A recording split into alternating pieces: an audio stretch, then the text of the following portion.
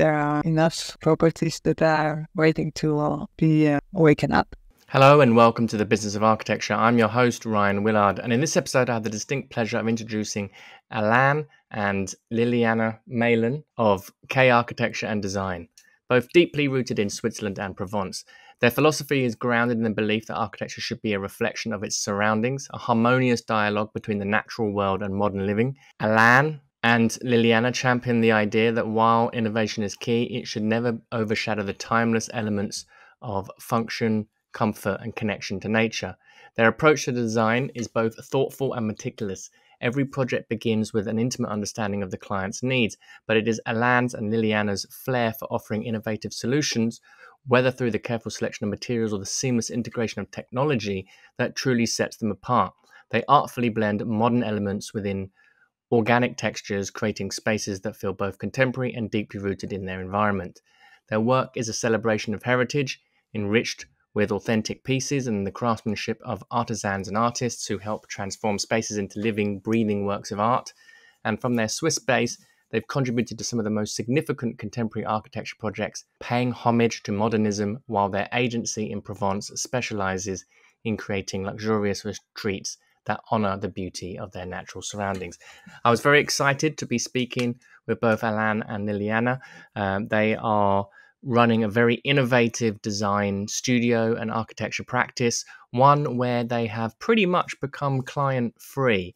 And the majority of projects that they do in their offices are ones which are self led design focused development. So in Provence, for example, we had a, a, the great privilege of being able to visit a number of their developments and their projects. They're finding extraordinary heritage buildings and transforming them into either luxurious retreats like the Mas de Chabran, which is where this podcast is done, or they're turning them into uh, small boutique hotels or rentals uh, for the area. But it's a really, you know, amazing kind of portfolio of work, and they are very much executing on the client-free practice that so many architects strive for. So sit back, relax, and enjoy Alain and Liliana Meylan. And now, a word from today's sponsor. A while ago, I began to hear reports of a company that was helping some of our clients build remote teams. We looked into it more closely and discovered the company World Teams that was helping small architectural practitioners build remote teams that were both capable and qualified. I was intrigued by another business that addressing one of the critical pain points for small architectural practices, which is the ability to grow and shrink a team effectively, to be able to handle higher workflow without having to staff up significantly and also being very sensitive about labor costs. World Teams is built to address these issues. World Teams is a small but mighty company that helps architectural practices build high performing remote teams quickly and efficiently saving you the headache of sorting resumes and interviewing underqualified candidates. World Teams operates in your time zone and prioritizes near native English speakers, ensuring clear and efficient communication with your remote team members. They have flexible contracts so you can adjust your team size as your needs evolve. Additionally, you're connected directly with your skilled professionals, which fosters trust and collaboration. And World Teams helps you reduce your operating costs without compromising the quality that is so important to a practice. To download a free guide for building a remote team for a small architectural practice, go to businessofarchitecture.com forward slash world teams. That's one word, businessofarchitecture.com forward slash world teams. As a reminder, sponsorship is not an endorsement, and you must do your own due diligence before entering into any business relationship. Go to businessofarchitecture.com forward slash world teams it's time to announce this month's 200, 300, and 400 Club. If you've missed our episode on the 200 Club, listen to Business of Architecture episode 485 to learn more about this new initiative for benchmarking small firm performance. So, big congratulations to our 200 Club members who are Yogesh Mistry, uh, Lena Boella, Brad Hubble, Marina Rubina, Joost Bende, and Denise Burkett. Andrea Nemechek, Kelly Morgan, Julian Larry Apel, George Agiris, Jorge Catran, and David and Kristen Ware. Our 300 Club members are Mark Elster, Irini Adams, Daniela Espana and Ewan Ranasingh, Christopher Brandon, Charles Scram, and our 400 Club members are Drew and Justine Tyndall and Kimberly Dokes. Keep up the amazing work, guys. Alain, Liliana, welcome to the Business of Architecture. What a pleasure to have you on the show, and thank you so much for uh, having us here at uh, Mas de Chabran. So, very excited to be speaking with both of you. Obviously, we came here because we were looking at the space for an event, and there's an interesting story because I actually came across the space um, a few, a little, maybe a couple of years ago. Okay. And I was looking, I was uh, on doing a lot of Zoom meetings, Mhm. and I was looking at kind of beautiful backgrounds to have in my Zoom meeting. And I actually chose the background, an image of that, Really? and and it was quite it was quite funny because then then um, last year we were starting to look at venues for um, to have our our of our, our marriage Yeah, uh, ceremony, and everyone picked up the image and was like, like, that's the place. That's That's the thing. And, and, and even more excited to hear that actually it was, I mean, I could tell that there was an architectural, in, like heavy interior design influence on the space, but delighted to hear that actually it was an architectural design studio that had developed, bought the, pro- bought the property and turned it into its own business. Yeah. And that, that was really courageous, which is exactly what we talk about here on the Business of Architecture show. So Really? welcome. Um, really, really great to be speaking with you. And perhaps we could just start by talking about K Interiors a little bit and how that business started, how long ago you guys founded it, and then we can kind of move into the, your property exploits. With pleasure. K Interiors is actually the um, baby of K Architect. Right.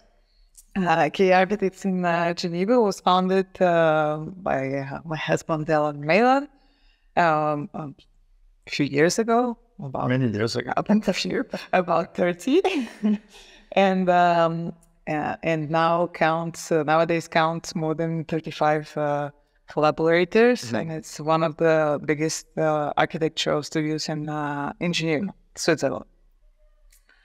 And uh, K Interiors came uh, uh, as a natural continuity of uh, architecture into interior design, because both uh, parts are connected Yeah. Uh, forever, even though a lot of uh, architects uh, um, uh, have difficulties accepting uh, the interior designers. uh, but um, we have, uh, or Alain has uh, uh, observed it uh, during many years, and uh, and it was in very high-end project. It's uh, crucial to to complete uh, um, a, a project and uh, client's desire is all that. Yeah. So this is how uh, K Interiors uh, started when uh, when we met actually.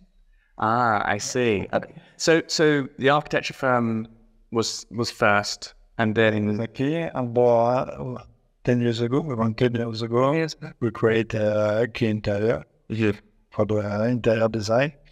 And since uh, five years, we move uh, to the south of France. And my son is in charge of the um, K architect in Geneva. And we decided to, to open um, a new uh, office uh, in the south of France. ah, I see. So we have architecture and interiors. So, so Yeah, that- the, the new the new studio is still connected with the studio in, in Geneva, or it's a completely new entity, or It is connected. Um, uh, we do have together also a few few projects in uh, around Geneva, in Megève, for example. Uh, we had together uh, a big project in uh, Central Bay. It uh, it happens that uh, that we uh, work Depends on the together. It, it began yes, it depends very much on the project.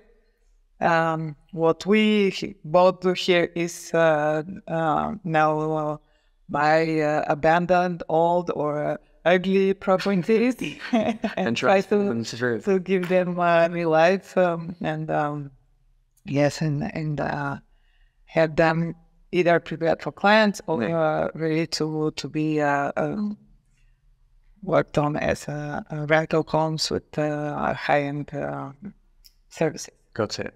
So you, the the portfolio of work that you had in the architecture and interior design studio, you've done a lot of um, you know, very high end luxury housing, and you can obviously see that here with um, you know the, the attention to detail to absolutely everything. Thank you. It's absolutely really really beautiful. Um, uh, so how and why did you decide to kind of move into doing your own properties? I mean, this is something that lots of architects and designers want to do, but it's it's difficult. It's not easy. We uh, wanted to do a weekend and a holiday uh, project just by ourselves because uh, architecture is our passion. So mm-hmm. um, we cannot say uh, work stops after 5 p.m. and then life begins. It's uh, part of our life. Architecture is what we uh, love. And um, we had a summer house already here. We were uh, spending um, our weekends and, uh, and holidays here. And then we one day we decided to look for an old house and, uh, and have our own project because we were all, all the time working on uh, on different yeah different plans, different projects in the same office, but not uh, not together. And then we found uh, the Bastide de Fléchon. Right. Probably you visited. That's the, the smaller one, right? Smaller, yeah. On the mountain. And uh, and meanwhile, uh, here our neighbors were trying to sell for uh, long years, but it, the price was really so high, impossible to approach. So we were trying to uh, negotiate a small bid. There is the all this part was uh, not explored at all. We are saying, ah, we just need one more room, a small office, you know, then you can carry on and uh, take care of your home. And but couldn't uh, match uh, on this uh, level. Was, we tried to to make an offer, was rejected. Okay, and then we went for, for the other project for the Clichy. And then uh, two weeks after, the neighbors came and said, uh, "Well, we actually uh, made our made up our minds, and uh, we're ready to accept your proposal." Amazing. Uh-huh. yeah, the same like the other one. On the same time, so mm-hmm, that's a life change. so it was. So it was. It suddenly turned into a much bigger project than you'd anticipated. So you were going to do the other little one and now this one as well. Yes. How, how much bigger is this one than the I haven't seen the other one yet. So the other one is around 350 square meters and this one is uh, about 1,200. Wow. Okay. So we... Um, and at the same time, COVID arrived. And then COVID arrived. so now you're... So, so we were locked in here right. locked in Provence. It was a very bad period. There's worse places. it was a great yeah. time. so we we managed to to have uh, all our teams working. Uh, um, it was allowed for uh, architects to, to carry on and uh, everything connected to to construction uh, building, and it was amazing. It was it, it was difficult to get. Um, to get supplies, to, to have deliveries.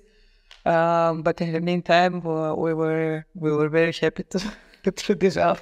So, so did you take? Were you doing other design projects at the same time as this with with other clients, or did you put everything on hold and then just focus on this one project? Or how did you how did you balance the time? Or did you treat? Well, at, at, the beginning, we uh, we were working in Geneva and here because some uh, projects are happening in Geneva. And here we met uh, many people, and we do some projects for different uh, different clients on the center. Yeah, in the beginning, we were traveling. Uh, uh, we had a very large project in Saint Tropez, touring back here, and then back to Geneva. Three days here, four days in Geneva and then uh, the other way around, it was uh, pretty uh, intense. When the and then when COVID arrived, we were, wow, how how are we doing all this? you just got to relax a little bit during COVID and kind of focus. It's really, but less, uh, yeah, less uh, kilometers to to run. So w- when you kind of purchased this property and and the other one, um, did you have? Was it intentional that it was going to be a business or like a, a boutique type of event space, or did you see it as being a home, or what was the the business vision for it? Was it? Uh, well, at first there was not really a, a business vision, rentals or uh, creating a collection of homes. It was, uh, as we said, it Oh. was uh, pleasure to. a pleasure to to renovate, build, and uh, and then uh, probably resell. And when we uh, arrived at the situation of having Mas de Chabran and uh, Bastide de Fléchon, then uh, we thought, okay, this one, it's too big for us. We're Right. going to move uh, here. What are we going to? How are we going to, to explore it? And then uh, we thought, okay, maybe uh, uh, the best way is to imagine it as if it was our home and then uh, create a space where people uh, will be able to, to share very good moments. And with the experience of, uh, of high-end projects in uh, in Switzerland, we thought that uh, we've learned how people uh, at this level would love to uh, to be welcomed or what they're expecting in their uh, everyday life, and um, and we uh, applied it uh, here in the, in the renovation. And this is how it, uh, it began. In the beginning, we, we didn't knew if uh, how people will uh, uh, look at it, if it will be well accepted, if how how the team will be created. It was um, quite something new for us. What what kind of state was that house in when you when you bought it? with mirror on the on the ceiling, uh, pink walls. Uh, Uh, it was very special. Wow. Yes, it was. It um, belonged to um, uh, family from Paris, where the uh, the mother and the father were very active. They were uh, welcoming a lot of uh, uh, guests and uh, uh, organizing concerts and um, So it was well well, used. Yes, but in the meantime, they they wanted to have a, a small chateau in Provence, so it was uh, very much the traditional um, a traditional style with the uh, fabrics and hidden. Uh, the, the ceilings were, were hidden, the heights were lowered. Uh, it was also a, a mixture of many many styles. With uh, um, we can still see it in the in the house, and then the their two sons never managed to touch anything. They were so uh, impressed by by their parents uh, that they were saying us, "Yeah, but if our mother came back, what would uh, he have said or the thing?" So the station becomes created in the era of the, of the parents, which is already outdated. And yes, uh, there were um, mirrors all over, or a pink um, uh, marble, and, and then yellow tiles, and then uh, every room was different kind of uh, headache. And and so when you were doing the renovations, did you did you live in one of the two properties whilst it was happening, or did you rent and stay nearby, or go see more? We were uh, just uh, yeah. living next door, yes. Right. And and and was this always the next door space that there? That's now your studio. That was a garage. Oh, right. wow. Yeah. Just, uh, there was a ramp. It was uh, all dark. Um, one part was uh, some kind of storage. Actually, all, the last room, number, room number eight, the balcony didn't exist. All this part was uh, covered with the aluminium um, facade from the 70s. Wow. The uh, it, it was it, it was really really bad. So a lot of work, kind of. Oh, yeah, the office is a complete uh, transformation. Yes. So with these projects, when you're doing them yourself, obviously, you know the the biggest danger is money. It's what it's, it's the it's the thing that stops so many architects and designers actually doing their own projects is because you know then it can quickly become prohibitively expensive. Um, how were you guys kind of working with the budget, or were you just like, you know what, we're we're going to do everything that we want to do, or you knew how to kind of keep costs down but keep the quality, you know, like as high as it is. How did you kind of manage that? At the beginning in, in uh, Switzerland, uh, I do a lot of uh, promotion, and uh, we we sold uh, some uh, houses in uh, in Geneva, and with the money we uh, buy the property at the beginning to to gain it, and uh, leadership with some men for the for some credit. Yes. We negotiated a lot with the with the suppliers, furniture or materials, uh, um, and just trying yes to to make um, get out the maximum. Yeah. And we were present all the time, so uh, Keeping your eyes on. the the rhythm of uh, of the construction site was was kept uh, steady. We had also our teams. We hired uh, our workers for uh, for the masonry painting, and uh, so it was. Uh, um, yeah, that allowed us to keep uh, the budget. Uh, Did you um, set this the ownership up of this property in a separate business? Yeah. And then that business and kind of hired the architecture and Yes. interior. So you kind of had like a, a contract between the two yes, businesses and, and then paid it. yes, Um, so you've done property before, before these two projects. Uh, You you've kind of built and developed your own properties before. I owned it. Alain Alain has. And and what sorts of things were you doing prior? At the beginning, we buy some land and uh, we build some uh, some houses. But uh, now it's a really Euro adventure because uh, in Geneva, all the concepts are very, very modern, high tech, and now it's uh, absolutely different. And uh, we we work on uh, with the stone with Right. different materials. And, but uh, all the time we were working on the luxury house. That's um, we work a lot for the for some private clinic uh, in uh, Switzerland, and we modified the, Very the cool. clinic in the hotel médicalisé. Right. It's a we have a very nice restaurant, and you feel comfortable when you go to the hospital, or to go to the clinic. Yeah. And uh, one more time, it was on the high level uh, to consumption. So so the the architecture business in, in Geneva was was kind of was doing very well and and it allowed you to be able to kind of go into doing your own private developments and then you sold a load of those which kind of helped the funding Then this one. Exactly. Ah, I see. Okay, so it's so long long term Yeah. plan. And uh, on the same time, we didn't know what to do during a few few days, and we decided to uh, to design a, a boat, a sailing boat, and we built it in Turkey. And uh, same, we do a lot of charter, and uh,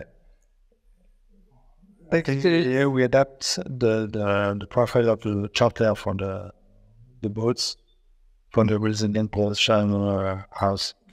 Same service, same uh, quality of service. Oh wow, okay.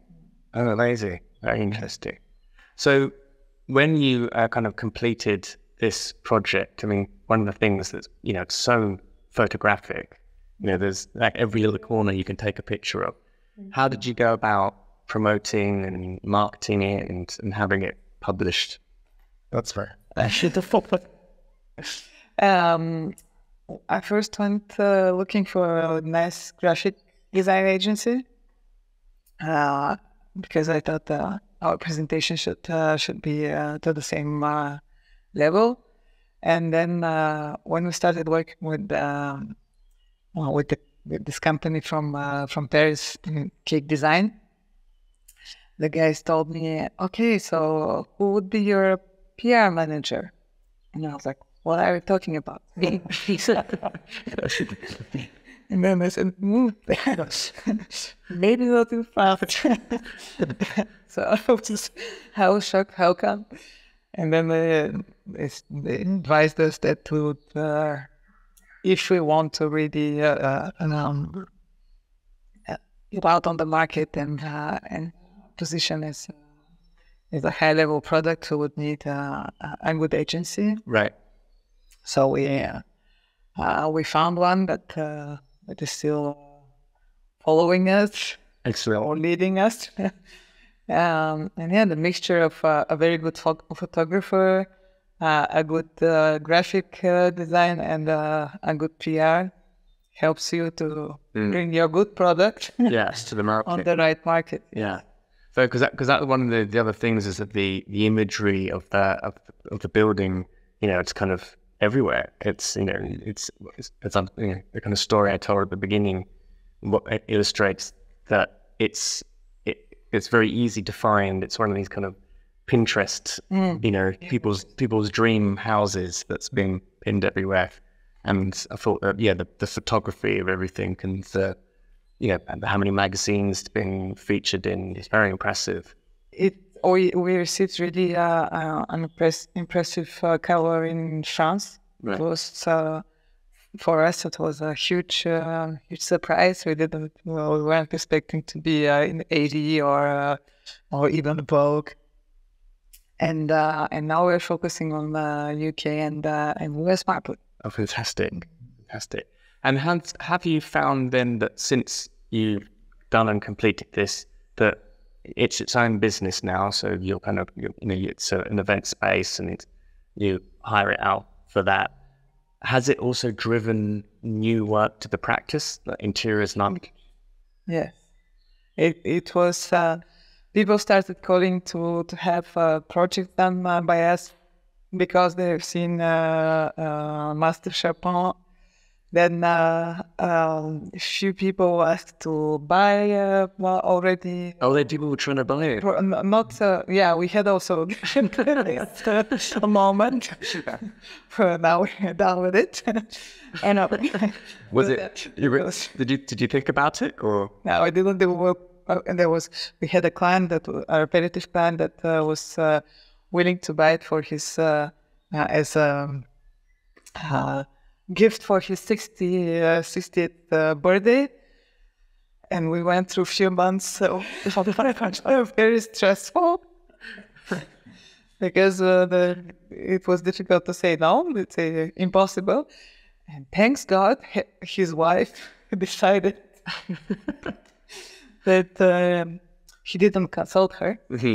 So um, it wasn't her choice. And uh, Was it was it difficult um, this uh, situation because you you didn't want to sell it, or you did want to sell it, or you didn't want to say no to a client who you've been working Oh. with for a lot? yeah, actually, I know to the same. actually at that that. time, yeah, there there are many things.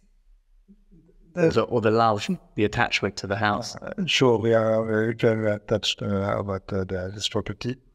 But we are architects. Our job is, yeah, our job is to uh, to create some new um, new house, new property. Yes. And uh, we are very conscious. And, Yeah, we were very.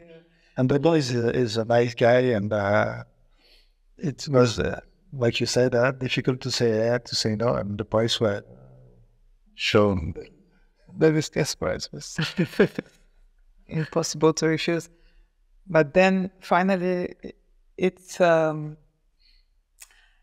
it's our face, our um, main uh, main point or main uh, main attraction. So we, we should we we understood that we have to keep it. Uh, Maybe we can sell other houses around the small the smaller ones.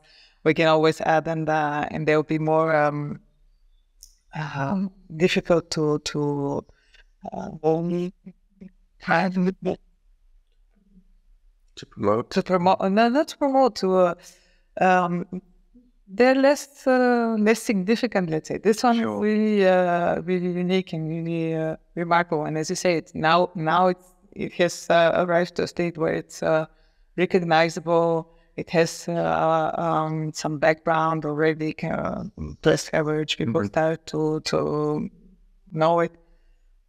Yeah, it's it's got it's it's kind of iconic in in the, in the region, and it's also very interesting because so many times when architects design like an exemplary building like this, and you're doing it for somebody else, then the client doesn't allow you to take photographs of hmm. it, or they- or they don't allow you to publish it, and you've got to keep it, and that's really like for so many architects very very difficult. Very And then, of course, here you can in July, the contract, you said that we had the right to, to take some pictures at the end of the conception. And e- yes, and even though because it's true. eh?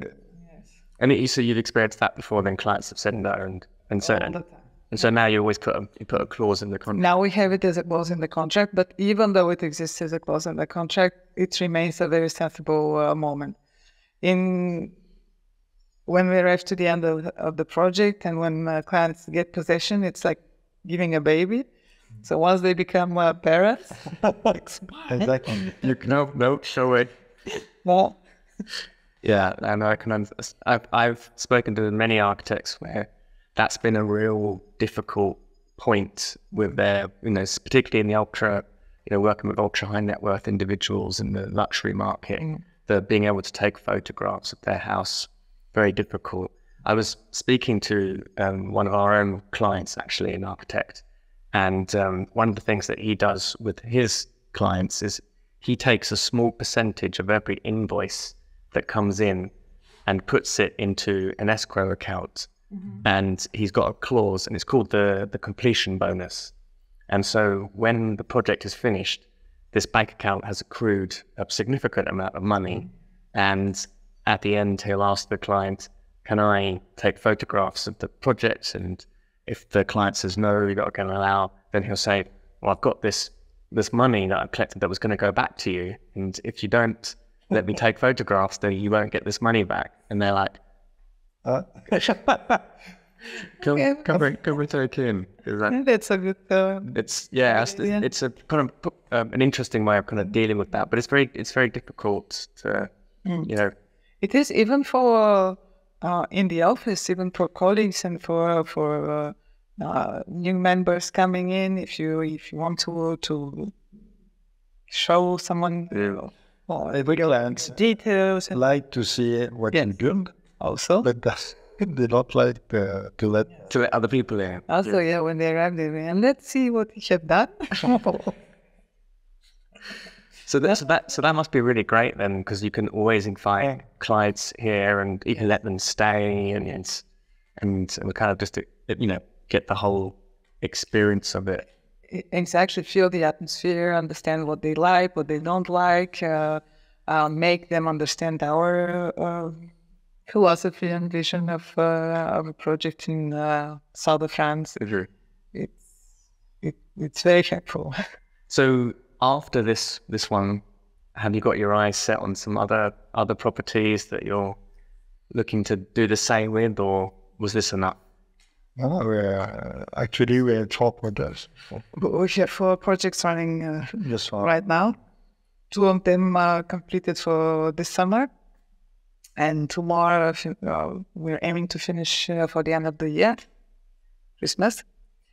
Uh, one of them is uh, will be the small sister of uh, Mas de Chabran. Uh, again, seven bedrooms and uh, um, massive plane tree, uh, 300 year old plane tree in front of the Beautiful. of the house. Then uh, the second one is uh, a smaller one, the six bedrooms, uh, but in the heart of the village, very different. Um, we tried to break the codes and uh, and went completely traditional, but still with the with the comfort of uh, uh, contemporary living and um, applying uh, a lot of uh, reclaimed materials, concentrating on uh, local uh, uh, craftsmanship. Um, um, maybe eighty percent of the of the furniture and the materials we have uh, in uh, French, so that's uh, Wow. uh, uh, more in the line of uh, regenerative uh, um, building and tourism and then uh, and then we have to uh, then we have another one uh, that is uh, the third one is uh, um, in the rocks of uh, Baux Provence. So yeah, the um, the rock is actually in the living room. So we won't have walls, but we'll have a huge rock, and the and the swimming pool is also attached uh, to to the rocks. Uh, and then the fourth one is lost in nature, completely remote, uh, where you don't have, uh, you don't see anyone, you don't have, uh, you have one neighbor in case. Um, but we always try to find something unique. Yeah. It can be a, a small village house, but still, uh, then the atmosphere inside uh, have to to procure you some uh, uh, some pleasure and, and, and some well-being. Yeah, of course, we're looking for, if possible, uh, the the dream of the architect, Mhm. uh, an old building and have some And bring it back to to bring it back to life. Um, we decided to not uh, build new here uh, because there are enough uh, uh, properties that are waiting to uh, be uh, waken up. Oh.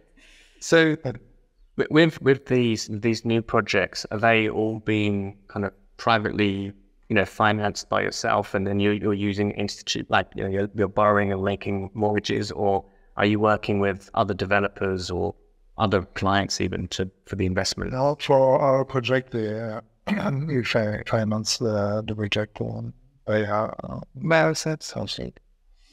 We just have uh, one friend uh, who is partner for one uh, house, but we don't need uh, the yeah, the Yeah, no, that's that's that's great. That's a that's like a such a freedom for for you guys to be able to. Transform. Yeah, because this is the other thing. Because if if you go down the development route and you're bringing other people in, then it's going to be harder to create all mm. the, the details and do it exactly the way you you want to do it. Uh, Even sometimes between the I, I often say, no, I have the most difficult client. You're keeping each other in check. Sort of like, All of that. Yeah. Hold on a second.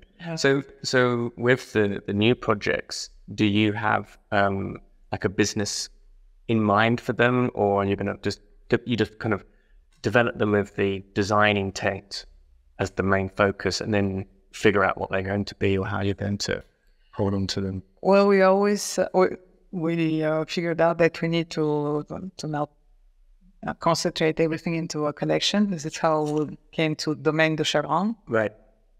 Uh, so now we are positioning everything as a I don't know a private collection, and uh, and then we always say if someone falls in love, then uh, That's it. yeah. I love it. I love it. Wow. But it is the the project must be um, completed complete. to the to the smallest detail. If it, uh, and and then we start exploring it uh, uh, through the rentals and the events, and right. and then one day, who knows? Yeah. It, it already happened uh, two times. So the, the, I guess the question would be why why do work for anybody else? Oh, now we are building a, a new boat for uh, Brazilian clients. Mhm. That's uh, that's an amazing experience, uh, and, the, and the clients are also uh, incredible. And it's uh, it's nice to exchange and to have this uh, this challenge. in- Uh, very different change. Yeah. And, uh, it's a sailing boat, uh, 48 meters, and with uh, electric uh, propulsion. Oh wow. that's a big challenge.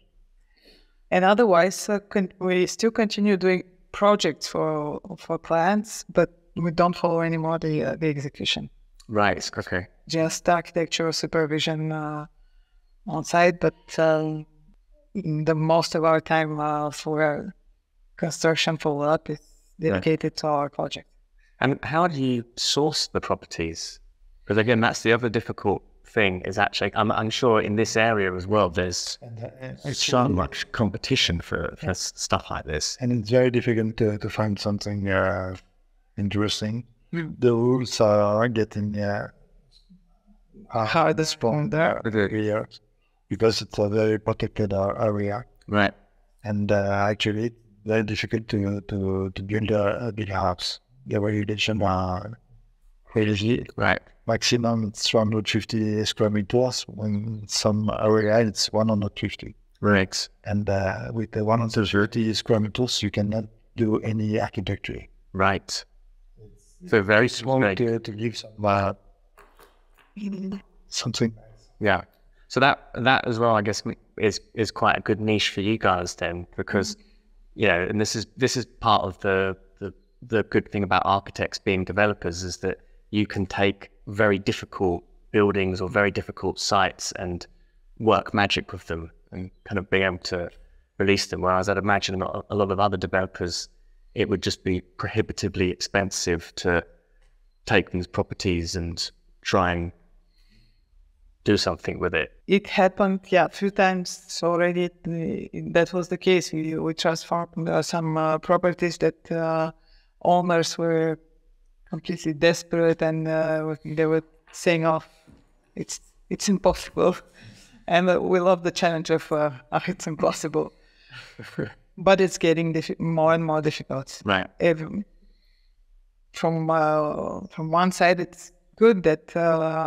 Um, people try to calm down and to make uh, things uh, in a more uh, sensible way. But it's a weird thing. It's really getting um, uh, awkward. Mm-hmm.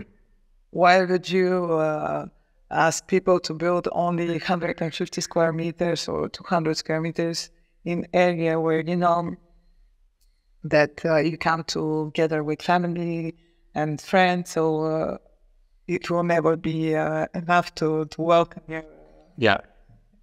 Your, everyone, every member of your of your family, and then people who are uh, who are in need of um, this kind of uh, services, they don't have uh, the financial uh, uh, possibility to buy in this particular areas. So it's um, rules are always very general mm-hmm. and they don't really apply. Uh, they need to be yeah, kind of in, interpreted and understood. Um, slightly different tangent of, of questions. Obviously, you guys are you're married, correct? Yeah. and and working together.